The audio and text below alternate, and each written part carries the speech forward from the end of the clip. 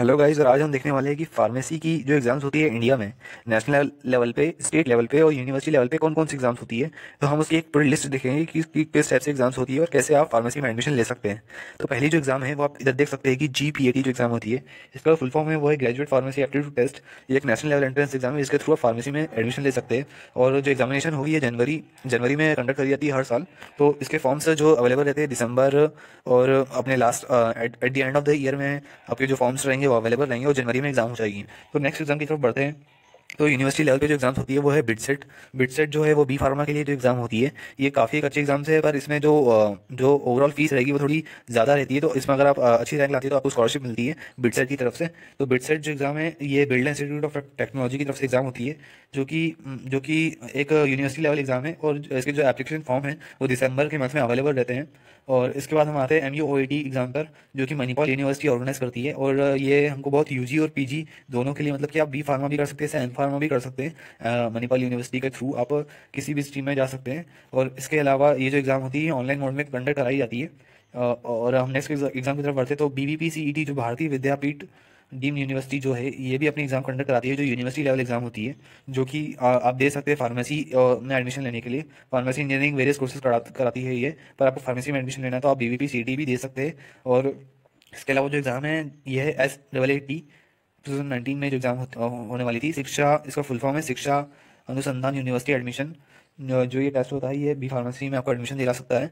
तो ये एग्ज़ाम भी आप दे सकते हैं और जो इसका एप्लीकेशन फॉर्म आएगा, वो दिसंबर में आता है तो आप इसको फिल कर सकते हैं। इसके अलावा जो आई पी जो एग्ज़ाम होती है, ये भी आप भर सकते हैं। ये inter first common university test जो होता है, वो ये एग्ज़ाम भी आप दे सकते हैं। इसके थ्रू आप बी फार्मा में एडमिशन ले सकते हैं। ये भी काफ़ी परफॉर्म यूनिवर्सिटी है, जिसके थ्रू अगर आप बी फार्मा करेंगे तो आपका जो स्कोप रहेगा आगे, वो काफ़ी अच्छा रहेगा दूसरे कॉलेज से कंपेयर में। इसके अलावा जो दिल्ली यूनिवर्सिटी की एग्ज़ाम होती है, ये भी आप दे सकते हैं। इसमें भी आप यूजी और पी लेवल में आप बी फार्मा कर सकते हैं इसमें आप डिप्लोमा इन डी फार्मेसी भी कर सकते हैं। ये एक एडिशनल कोर्स है जो आप दिल्ली यूनिवर्सिटी से आ, कर सकते हैं। इसके अलावा इसमें एंट्रेंस एग्ज़ाम जो होती है उसके बाद एक मेरिट लिस्ट लगती है जिसके जिसके बाद आपको दिल्ली यूनिवर्सिटी में एडमिशन मिलता है। इसके अलावा आपके पास जो एग्ज़ाम है वो है Punjab Punjab university common entrance test जो कि पी यू सी टी जो हम बोलते हैं। ये जो एग्ज़ाम है ये भी बी फार्मा के लिए और जो इसका जो ऑनलाइन मोड में होती है ये और मार्च में आप इसके जो फॉर्म है वो भर सकते हैं और ये एग्ज़ाम आप देखे बी फार्मेसी में एडमिशन ले सकते हैं। ये यूनिवर्सिटी लेवल एग्ज़ाम है। इसके अलावा हम आपको बताते थे कि N I N M I M S जो एग्ज़ाम होती है, जो ये ट्वेल्थ के बाद एग्ज़ाम होती है और ये भी एक यूनिवर्सिटी लेवल एग्ज़ाम है, इसमें आप B pharma plus M B course होता है, ये भी काफ़ी अच्छा एक ऑप्शन है। तो आप उसमें भी डायरेक्ट एडमिशन लेते हैं, जो ड्यूअल डिग्री एक टाइप से आप कोर्स कर सकते हैं बी फार्मा प्लस एम जिसके थ्रू आपको जो स्कोप मिलेगा, वो काफ़ी अच्छा मिलेगा नॉर्मल बी फार्मा कैंडिडेट्स के मुकाबले। तो जो निम्स निम्स नाम से निम्स एंड पैट जो एग्ज़ाम है, इस पर भी आप ध्यान दें और आप ये एग्ज़ाम दे सकते हैं। और इसके अलावा जो स्टेट लेवल पे जो जैसे जिस स्टेट में आप रहते हैं, उस स्टेट के हिसाब से जो एग्ज़ाम्स होती है तो तेलंगाना स्टेट में होती है T S E M C T तो आप उसके थ्रू आप उस वेबसाइट पे आके आप देख देख सकते हैं। और उसमें भी आप वेरियस इंजीनियरिंग और फार्मेसी लेवल के कोर्सेज में एडमिशन ले सकते हो। तो तेलंगाना के लिए T S E M C E होती है। इसके अलावा हम देखते हैं तो जैसे आप देखिए कि P G P C T and Osmania university जो ये सब है, यहाँ पे आपको एडमिशन मिलेगा। अगर आप अगर आप ये एग्ज़ाम दोगे टी एस पी ई इसके अलावा महाराष्ट्र में जो एग्ज़ाम होती है M H M S C T जो एग्ज़ाम होती है, इसके इसमें भी आप, महाराष्ट्र में अगर आप रहते हैं तो आप ये एग्ज़ाम देकर आप फार्मेसी में एडमिशन ले सकते हैं।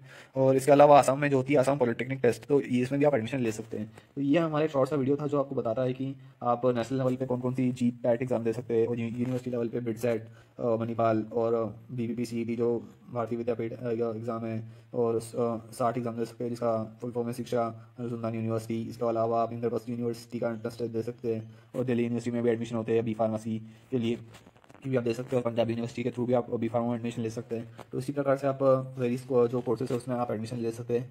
तो मैंने एक कंसराइज करने की कोशिश करी थी कि आपको शॉर्ट में बता पाऊँ अगर आपको जो डाउट्स है और आप आप भी अगर कोई दूसरी एग्ज़ाम्स के बारे में जानते हैं तो प्लीज़ नीचे कमेंट करें, ताकि दूसरे लोगों को भी पता चले। और मैं आपको यही बताना चाहता हूँ कि आप हमारा चैनल सब्सक्राइब करिए। मैं बी फार्मेसी से रिलेटेड वीडियो डालते रहता हूँ। और आपको पूरा इन्फॉर्मेशन मिलेगी कि एडमिशन कैसे लेना है और आगे आपको फ्यूचर में कैसे बढ़ना है। तो बी फार्मेसी से रिलेटेड वीडियो में डालता हूँ तो आप इसलिए हमारे चैनल को सब्सक्राइब कर सकते हैं, ताकि आपको नोटिफिकेशन आए जब भी मैं कोई वीडियो डालूँ। और आप इस वीडियो को ज़रूर लाइक करिए, क्योंकि मैंने इसमें बहुत मेहनत से ये जो कंटेंट बनाया है। तो थैंक यू वेरी मच ये डिपेंड करता है क्योंकि किस टाइप की स्किल्स है और उनकी कम्युनिकेशन स्किल्स कैसी है अवेयरनेस कैसी है इंग्लिश टॉकिंग वगैरह सब कुछ सब कुछ मिला के डिपेंड करेगा। और अगर आपकी ये सब स्किल्स और पूरा स्किल सेट अच्छा है तो आपको सिक्सटी थाउज़ेंड साढ़े हज़ार रुपये तक भी मिल सकता है पर मंथ अगर आप एक फ्रेशर हो तो।